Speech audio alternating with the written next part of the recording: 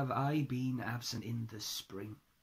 When proud pied April, dressed in all his trim, hath put a spirit of youth in everything, that heavy Saturn laughed and leaped with him.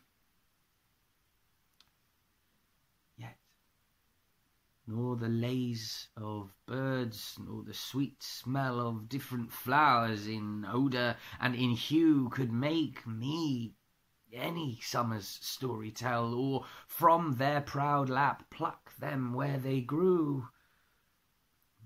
Nor did I wonder at the lilies white, nor praise the deep vermilion in the rose. They were but sweet, but figures of delight, drawn after you, you pattern of all those. Yet seemed it winter still and you away, as with your shadow I with these did play.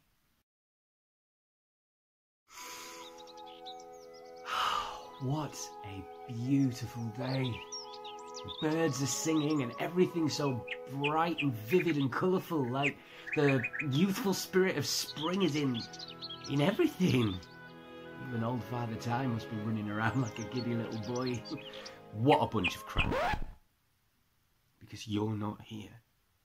And no amount of sweet bird song and pretty flowers can make me enjoy this time of year without you. I don't care how bright white the lilies are or how deep red the roses are, they're not as pretty as you. So it still feels like winter without you.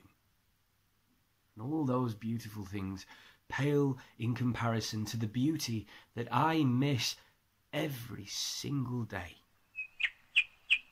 Shut up.